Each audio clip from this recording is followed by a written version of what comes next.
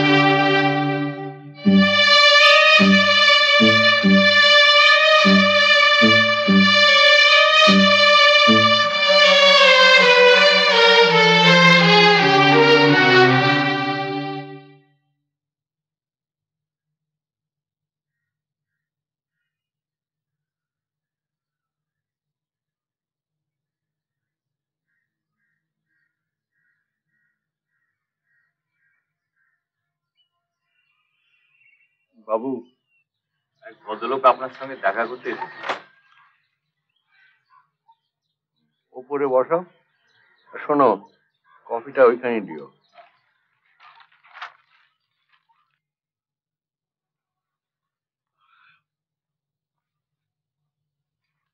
রতনলাল রক্ষী এসে, এসো।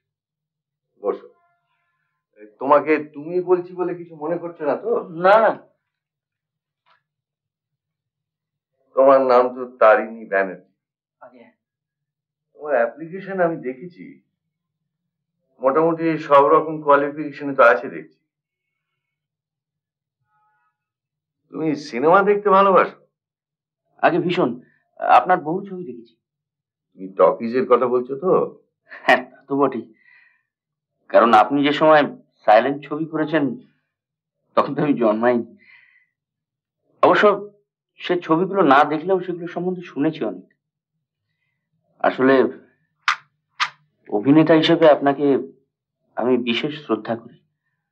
সত্যি কথা বলতে কি, আপনি যখন অভিনয় ছেড়ে দিলেন, খুব দুঃখ পেয়েছিলাম। সেটা আমার শরীরের কথা ভেবে। সিক্সটি ফোরে আমার একটা মাইল্ড স্ট্রোক হয়। তারপরে স্থির করি যে আর অভিনয় করব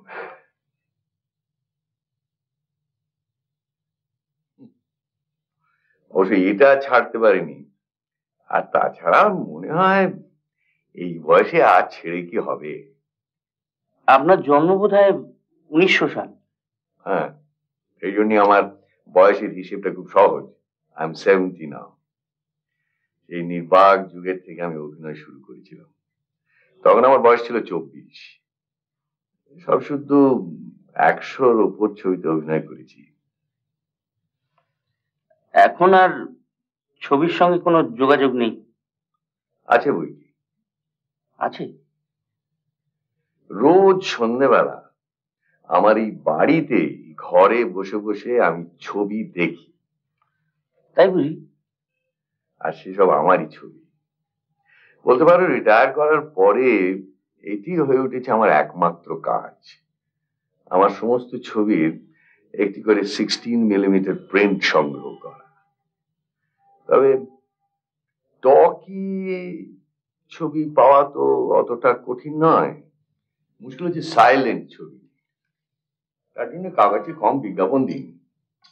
অবশেষে তার বেশ কিছু পাওয়া গেল হরিলাল মিরচান্দানির ভল্ট। থেকে এই হরিলালের বাবা গগনলাল আমার অধিকাংশ সাইলেন্ট ছবির প্রডিউসার তো ছিলেন বটেই। তার থেকে বড় কথা তিনি ছিলেন আমার বিরাট ফ্যান কাজেই সেই ছবিগুলো তিনি বিশেষ যত্ন করে রেখেছিলেন। আচ্ছা আপনি যে সেক্রেটারি খুঁজছেন তার কাজটা কি হবে? কাজ অনেক। আমার এই ফিল্ম লাইব্রেরির তদারক করা সমস্ত ছবির একটা ক্যাটালগ করা বছর ধরে ধরে লিস্ট করতে হবে। তবে শুধু ছবির নাম নয়, প্রযোজকের নাম, পরিচালকের নাম, অভিনেতা, অভিনেত্রী, কলা কুশলী, সব। সেই সঙ্গে প্রত্যেকটি ছবির একটি সিনপসিস তৈরি করতে হবে। আর আর একটা বড় কাজ হলো, যেসব ছবি আমার সংগ্রহে নেই সেগুলো খুঁজে বার করা। বিশেষ করে টকিজের গোড়ার দিকের কিছু ছবি। মোটা কথা আমি চাই না যে আমার কালেকশনে কোনো ফাঁক থাকে। বেশ। আর কিছু? তুমি বিশু শিবুর নাম শুনেছ? বিশু শিবু। বিশু শিবু? হ্যাঁ হ্যাঁ ওই সাইলেন্ট যুগের কমিক জুটি। বাংলা লরেল হার্ডি বাহ এও জানো দেখছি। তা এই সব ছবি হতো দু রিলের অর্থাৎ কুড়ি মিনিটের মেন ছবির আগে দেখানো হতো। এত পপুলার ছিল এই জুটি যে লোকে বিশু শিবুর রং তামাশা দেখতে যেত। ওই ফিচার ছবির কথা আর কেউ চিন্তাও করতো না। কিন্তু এই বিশু ছিলাম আমি। আর শিবুর পাঠ করত একজন অভিনেতা তার নাম ছিল শরৎ কুণ্ডু। আমরা দুজনে ব্যক্তিগত জীবনে ঘনিষ্ঠ বন্ধুও ছিলাম যদিও সে আমার থেকে কয়েক বছরের ছোট ছিল। তা তিনি এখন? সেটাই তো রহস্য। কোথায় জানি না। এই সাইলেন্ট যুগের পর টকি আসাতেই তার কাল হলো বুঝলে? তার বাচন ভঙ্গি এবং কণ্ঠস্বর ভালো ছিল না। ফলে লাইন থেকে আউট হয়ে গেল। তারপর তো একসময় আমার সঙ্গেও দেখা সাক্ষাৎ করা বন্ধ করে দিলে। এও প্রায় চল্লিশ বছর আগের কথা তোমায় বলছি। তারপর তার আমি বহু খোঁজ করেছি। কেউ কোনো সন্ধান দিতে পারেনি। এখন যখন বসে বসে এই বিশু শিবুর ছবি দেখি, তখন তার কথা ভীষণ মনে পড়ে। এই শিবুর হদিশ তোমাকে বার করতে হবে। আমি জানতে চাই যে সে আদৌ বেঁচে আছে কি না? থাকলে কোথায় আছে? কেমন আছে? কি করছে? তার মানে আমি কি ধরে নিতে পারি যে আমার চাকরিটা হয়ে গেছে? না হলে আর এত কথা তোমায় বলছি অনেক ধন্যবাদ। আমার ওই ফিল্ম লাইব্রেরির পাশে একটা ঘরে আমি সব বন্দোবস্ত করে রেখেছি। তুমি ইচ্ছে করলে আজ দুপুর থেকে কাজ শুরু করে দিতে পারো। বেশ। ইয়ে ওই বিশু শিবুর ছবি আমিও দেখতে পাবো তো? আমি রোজ সন্ধেবেলায় ছবি আমার এই বেয়ারা যাকে তুমি দেখলে, লক্ষ্মীকান্ত। ওই লক্ষ্মীকান্ত হলো আমার প্রজেকশনিস্ট এছাড়াও অবশ্য মাঝে মধ্যে অন্য দু চারজন গেস্ট চলে আসেন। আমার এই বুড়ো বয়সের অবসর বিনোদনের কথা অনেকেই জানে তো। বৃদ্ধরা বসে বসে অতীত দিনের কথা চিন্তা করে। আর আমি অতীত দিনে তোলা নিজের ছবি দেখি।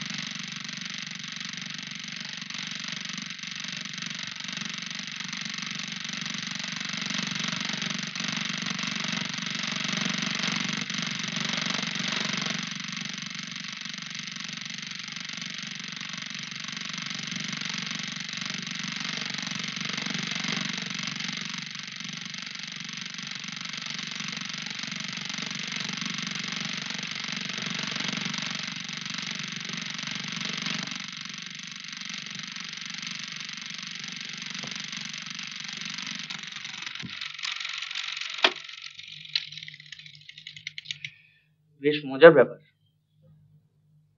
তবে এসব ছবি যখন করেছি তখন দেখে মোটেই হাসি পেত না। বরং এই নির্লজ্জ ভাড়ামি দেখে একটু বিরক্তই লাগতো। কিন্তু এখন দেখছি এর মধ্যে একটা নির্মল হাস্যরস ছিল যা এখনকার হাসির ছবির তুলনায় অনেক ভালো। হ্যাঁ আর শিবুকেও তো বেশ লাগে। এটা লাগে।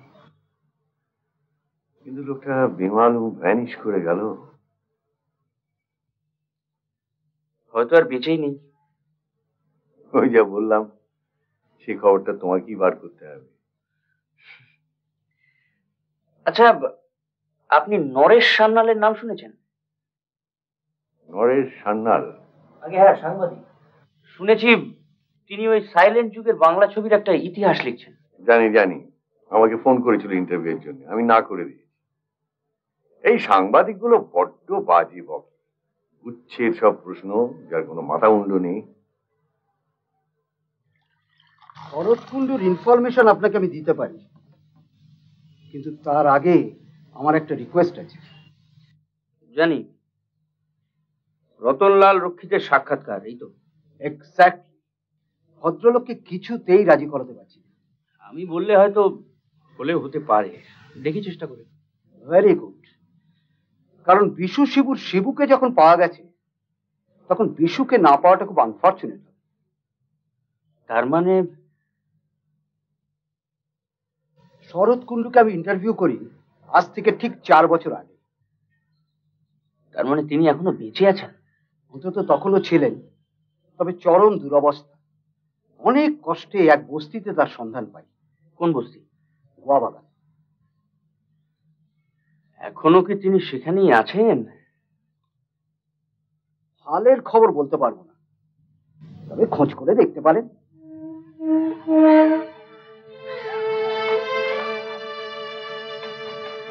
উনি কতদিন আগে এলাকা ছেড়েছেন? তিন চার বছর আগে। কেন ছেড়েছেন কিছু জানেন? না সেটা জানি না। আপনার ওনাকে মনে আছে? মনে থাকবে না। উনি খুব রসিক লোক। সিনেমায় অভিনয় করতো তো আমাদের গল্প করতো। আমরা হা করে দাঁড়িয়ে শুনতাম। ধন্যবাদ।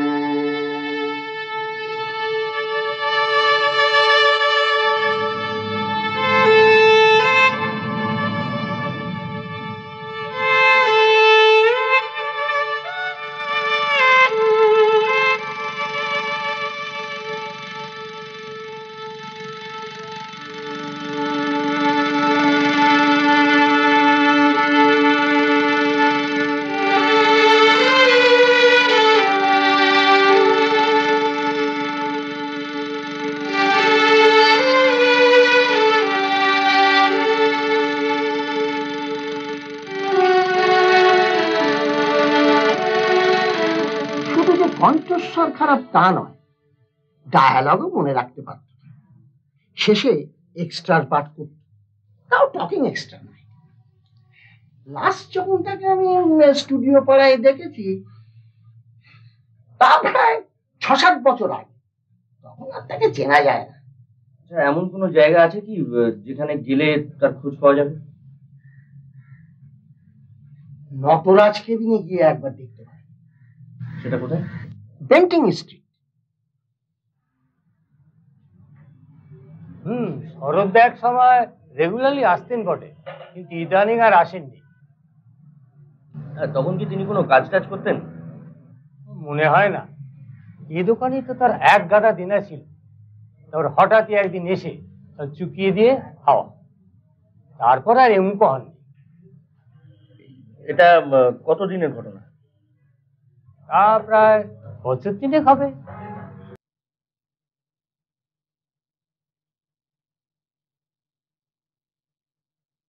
আসুন।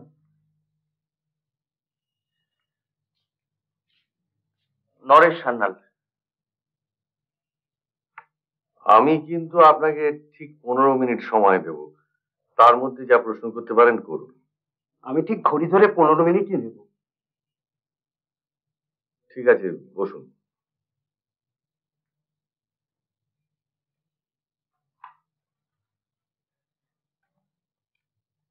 আম, আমি এই সময় এক বেলা কফি খাই।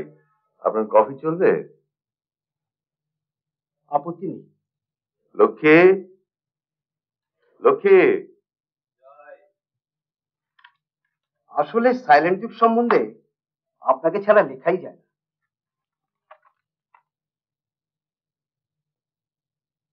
তিন পেয়ালা কফি।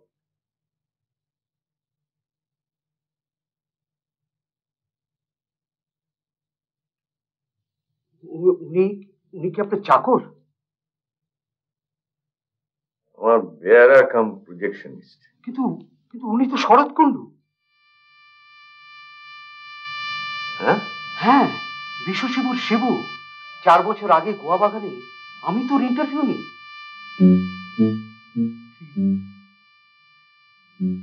কি বলছেন আপনি? আপনি ওকে জিজ্ঞেস করুন।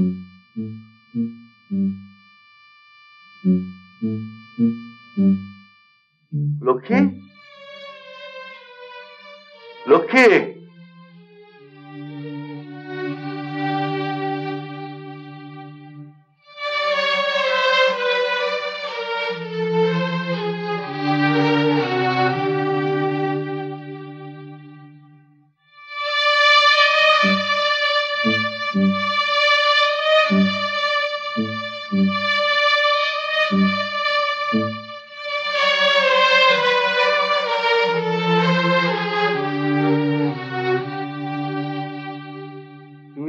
চিনতেই পারোনি।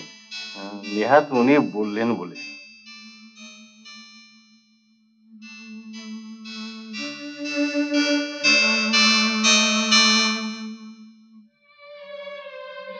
তোমার এই খেয়াল, কি করব বলো?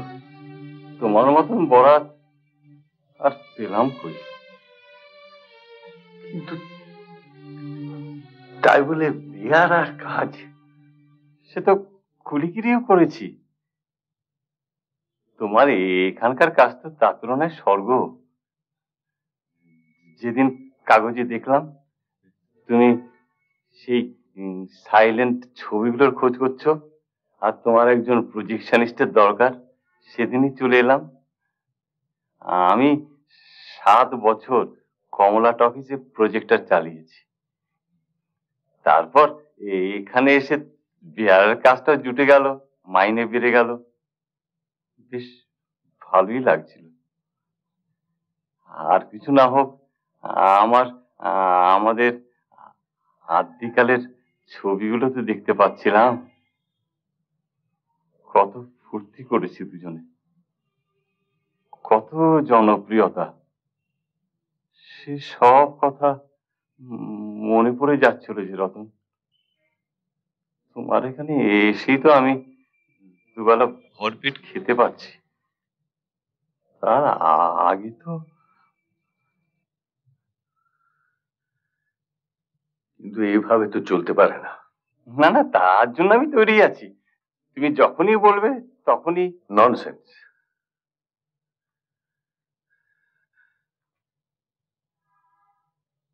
তুমি হবে আমার ম্যানেজার তারিণীর সঙ্গে এক ঘরে বসবে তুমি। আমার এখানেই থাকবে। সন্ধ্যেবেলায় আমরা আমাদের ছবি দেখব বসে বসে।